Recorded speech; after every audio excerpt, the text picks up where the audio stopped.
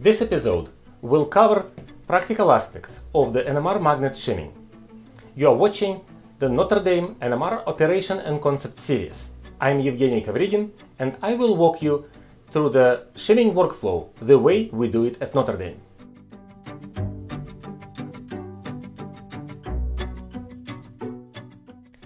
The shim system uses a deuterium signal to decide on shim values best for the inserted sample. Therefore, we must have at least 10% of deuterated solvent in any NMR tube. Before we can shim, the sample must be locked, which means that the lock system is activated. If you forgot to lock, the shim system will complain and remind you to lock. A rule of thumb if your locking fails, you cannot proceed to shimming until you rectify the problem.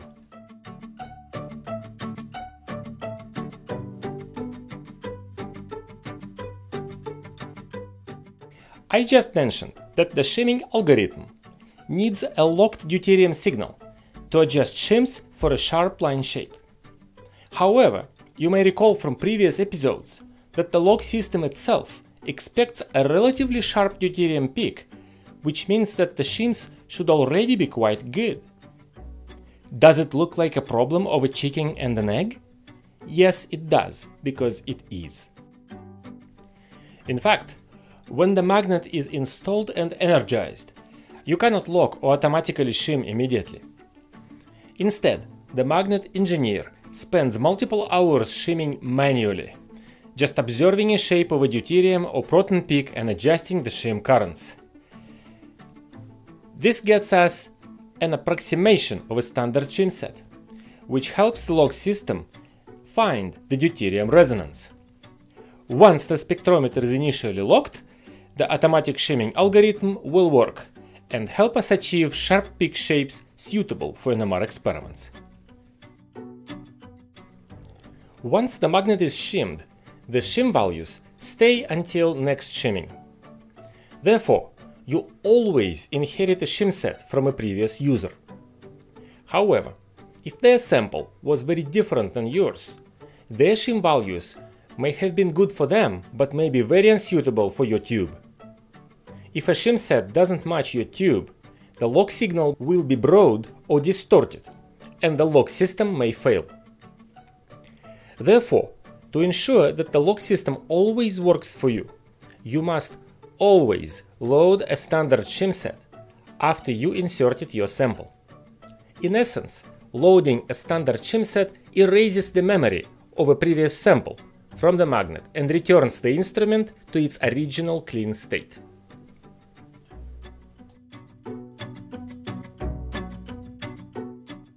Here are simple steps to prepare your spectrometer for successful shimming. After you inserted your sample, first you must tune the probe, at least the proton channel. I told you that the shimming system will typically use deuterium, but it will also need a proton in proton-rich solvents. Second, you load the standard shim set to reset the shims to their original state. Finally, you lock the spectrometer on your solvent if you have successfully locked, your sample is good to go to shimming. However, if your locking failed, stop. You cannot shim until you rectify the problem. First, eject your sample and see if the tube has enough solution. Your sample should be 40 mm or longer. And your tube should be properly set in a spinner with a depth gauge. Second, verify that your bottle of the NMR solvent contains deuterated solvent indeed, not its protonated variety. Finally, verify that you supplied the lock system with a correct solvent name. Utilize lock command to open the solvent table and make an accurate selection. Still cannot lock? Test the spectrometer locking system insert the standard sample of CDCl3, load standard shims, and try to lock. If the standard locks successfully, your sample has a problem. Watch next episodes for common problems due to samples and tubes. If the CDCl3 standard does not lock, spectrometer has a problem. Inform NMR staff.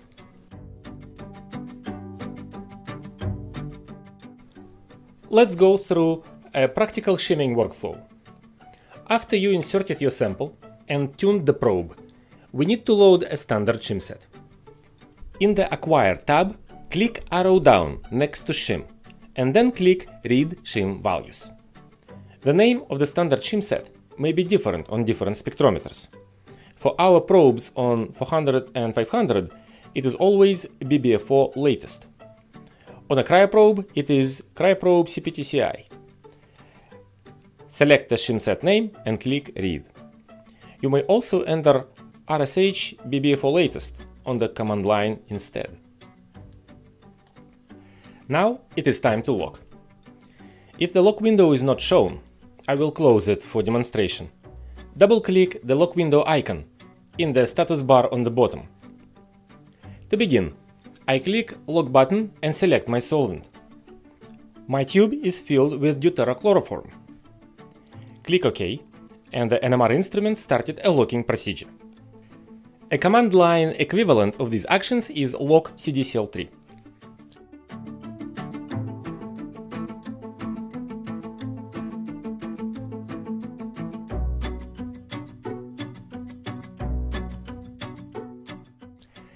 Pay attention to the signal to noise ratio in the lock, relationship of the lock height to its noise amount.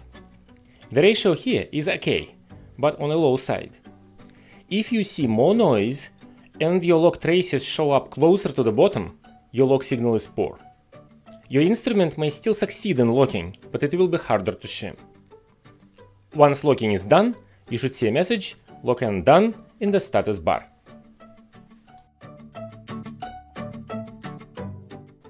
Before we begin shimming, we turn on sample rotation. Our shimming procedure will be what is called one-dimensional, and it requires spinning during shimming for best results. Click Acquire, spin arrow down, turn sample rotation on.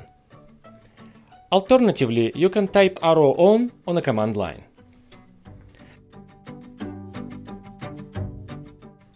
Rotation stabilized, we can proceed. Now click Shim arrow down. Additional TopShim options. Select Open TopShim Graphical User Interface. This is equivalent to entering TopShim GUI on a command line. This interface helps us monitor shimming progress. The only item you need to set here is the field Optimize for that should show the nucleus you plan to observe. I will observe proton, Therefore, I am changing it to Proton. Click Start and switch to Report tab. The TopShim algorithm outputs several pieces of information as it starts, which you can mostly ignore. The nucleus to optimize for is shown here. What is important to note is the results section. The value of initial B0 standard deviation indicates how strong the initial variation of the magnetic field is along the length of your sample. Several Hz is normal for a new sample inserted into the magnet where a standard shim set was loaded. This is a predictor of how quick your shimming may be. If you see tens of Hz, you may expect shimming to work for a while and likely you will have to shim more times. If you see hundreds of Hz, the magnetic field is really off in any case, you let TopShim continue and see if it is able to correct the initial deviation to a better value. As shimming algorithm converges to the best set of shim values, you will see final B0 standard deviation value. You need anything below 1 Hz, the smaller the better. Sometimes, with some samples, we cannot get better than several Hz. In this case, you would shim second time.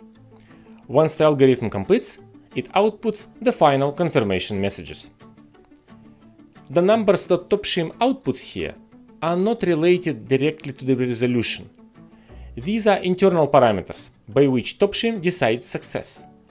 Quality of shimming must always be checked directly by acquiring a proton spectrum. First, all peaks must be symmetric. Bad shimming leads to identical distortion pattern in all lines. Often, a residual peak of a protonated solvent in the deuterated solvent provides a good signal to assess resolution. If your solvent has a splitting pattern, this is the best benchmark, because you can see directly how deeply multiplet components are resolved. Poor shimming means broader lines, less resolution. It doesn't need to be residual solvent, any strong peak of your compound with J coupling may serve this purpose. If you only have singlets, I would measure the line width at the half height of the peak and record this number in my notebook. The full width at half height of this peak becomes my internal measure of how well my spectrometer was shimmed before I started a particular NMR experiment.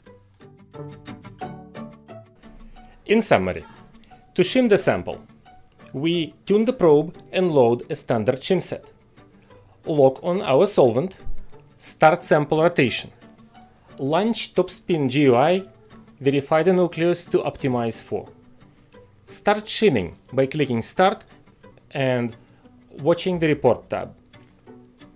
If the final B0 standard deviation is greater than 1 Hz, we should repeat shimming. Final value less than 1 Hz means that top shim found optimal shims. You should record a Proton 1D to assess real spectral resolution. This is discussed in next episodes.